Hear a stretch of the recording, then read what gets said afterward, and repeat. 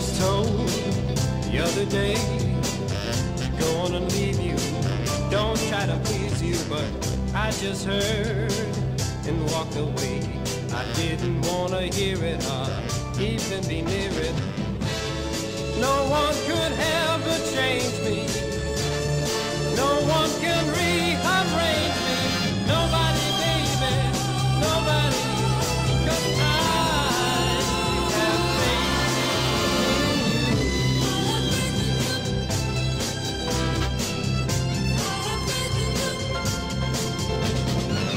My mother said, son, be a man. Try to forget her, say you never met her.